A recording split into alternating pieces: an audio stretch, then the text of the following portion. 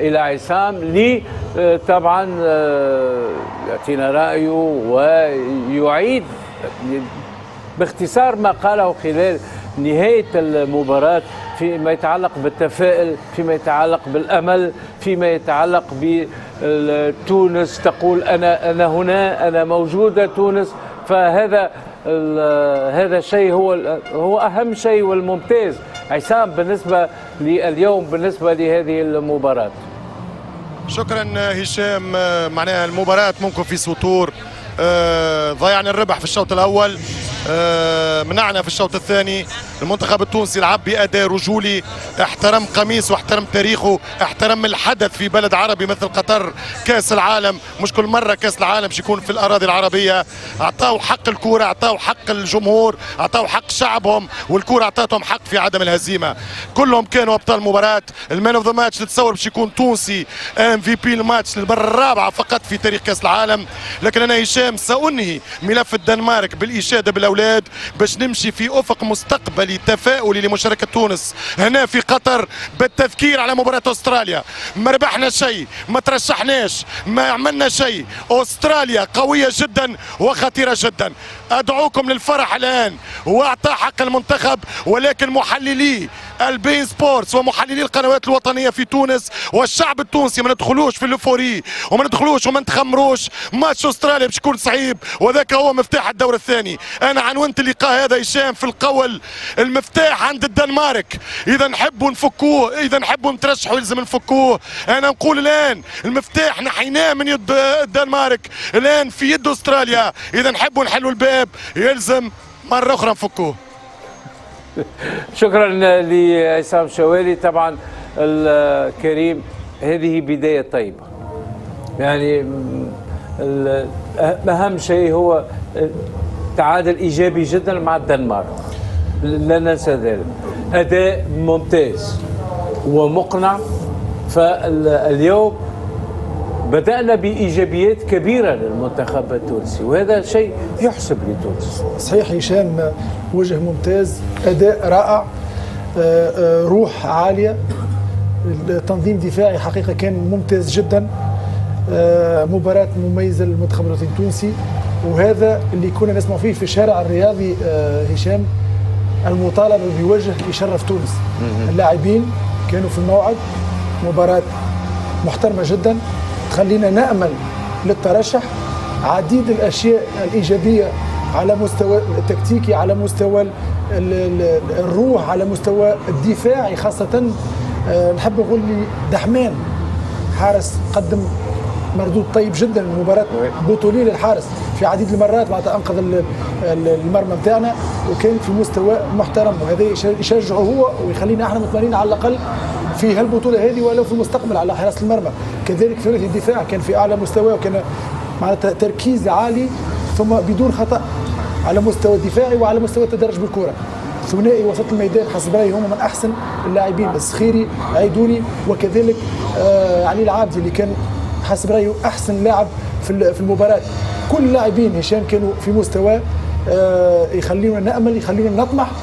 وهذا هو آه الوجه الحقيقي للمنتخب التونسي.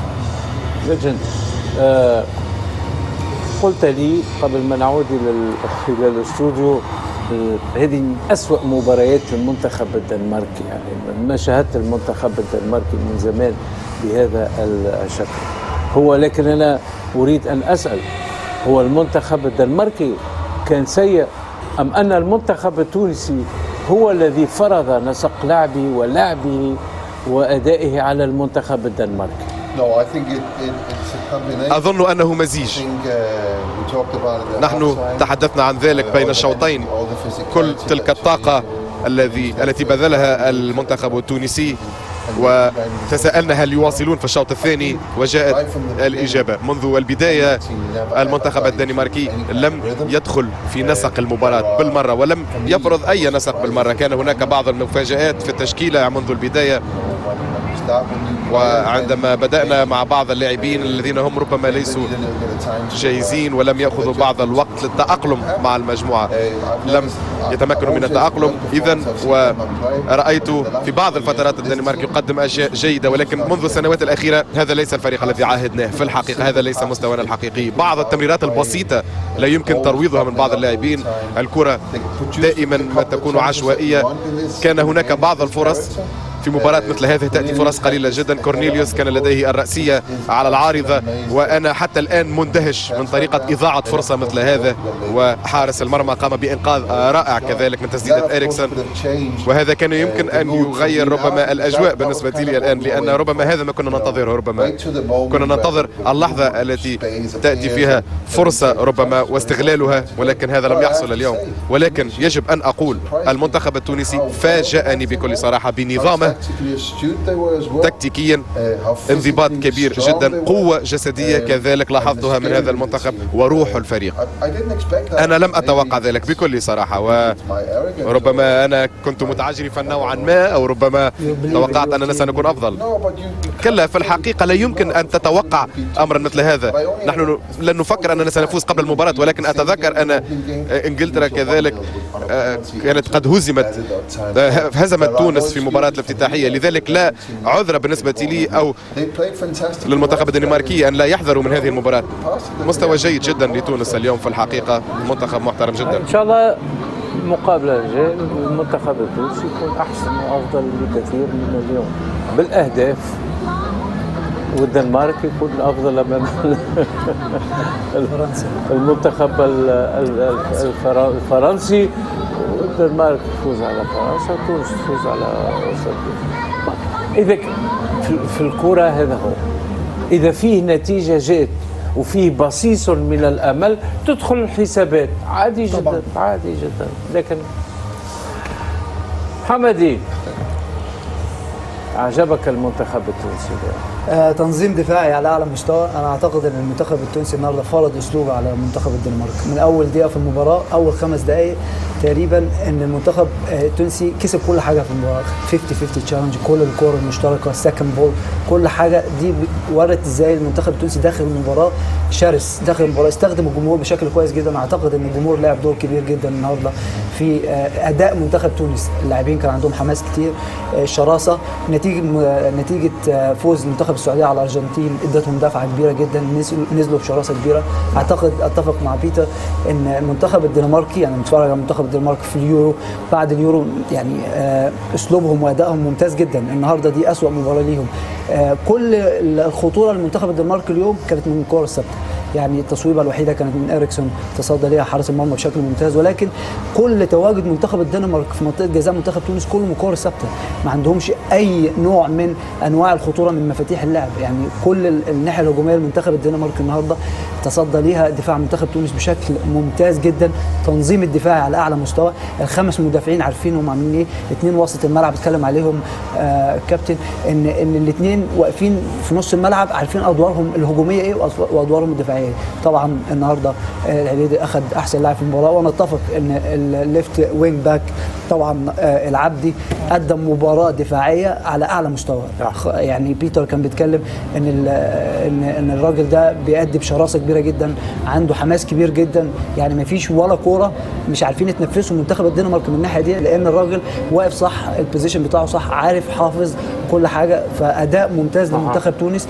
إيجابيات كتيرة قوي جدا لمنتخب تونس clean sheet النهارده في أول مباراة في كأس العالم مهم جدا. لدينا متسع من الوقت للحديث أكثر محمدي.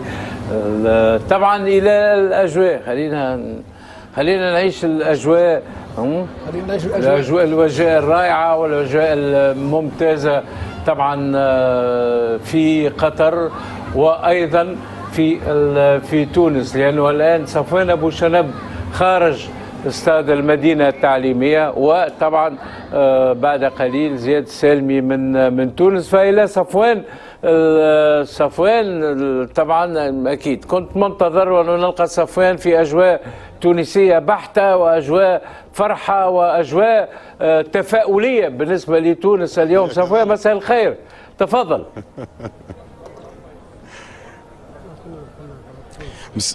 مساء النور هشام. الأغاني التي كنت أستمع إليها والبهجة الكبيرة أثناء دخول الجماهير التونسية لا أسمعها الآن لكن ثمة رضا آه، آه، وين لم يكن ثمة بعض الأغاني؟ متفائلين مثلك آه، هشام. سيد الكريم كيف تابعت المباراة وراضي ولا لا اليوم؟ والله راضي على مردود اللعيبة الكلهم. الحمد لله قدمنا مردود ممتاز. وإن شاء الله لسه مع موجود عندنا أستراليا وموجود عندنا كمان ماتش فرنسا. إن شاء الله الجاي أحسن من هيك إن شاء الله. كان ممكن الفوز اليوم على الدنمارك؟ كان ممكن الفوز اليوم على الدنمارك. الله غالب ما حالفناش الحظ. إن شاء الله الماتش الجاي نفوز إن شاء الله. والدنمارك ضعيفة كثير. معنا أيضا أحد المشجعين هو زميل لنا آه، سي المعز محمود من قناة حنا. بعد مرحبا فرصة سعيدة أن نلقاك هنا في قطر تتابع المباريات. اليوم قل لي راضي بشكل عام عن المباراة؟ آه، أول شيء مبروك للمنتخب السعودي ساعة اللي آه، اللي فاز وانتصار بالحق ثمين جدا. اليوم كذلك آه، المنتخب التونسي أكيد الجمهور التونسي الكل وتونس الكل راضي على الأداء نتاع المنتخب التونسي. والحمد لله تعادل بطعم الفوز نقطة ثمينة جدا. والحمد لله هذا objectif atteint كما نقولوا بالفرنسي يعني الغاية وصلنا لها. إنه نتعادلوا مع المنتخب الدنماركي. ما كناش نطمعوا أكثر بالفوز لكن اليوم المنتخب a laissé vibrer. يعني آه، رعشونا برعشة الفوز. خاطر برشا مرات. كنا. قراب قراب جدا من المرمى. مين آه، صبغ لك وجهك بهذا اللون الجميل؟ آه، أمي. آه. صح على الوالدة. الآن آه، خلينا نسمع أغاني. أيضا معنا بعض الاخوان المغاربة. جميعا حنغني. حبة حبة صح؟ يا مش normal يا مش normal يا واحدة واحدة للفينا علي علي فرصة رقصي علي علي فرصة رقصي يا مش نورمال يا مش نورمال يا واحدة واحدة علي علي فرصة رقصي علي علي فرصة رقصي علي علي فرصة رقصي المغرب غدا إن شاء الله إن شاء الله بربوحة ان شاء الله شكرا جزيلا لكم. إن شاء الله أيضا توفيق للمنتخب المغربي غدا وأيضا المنتخب القطري في مباراته المقبلة أيضا.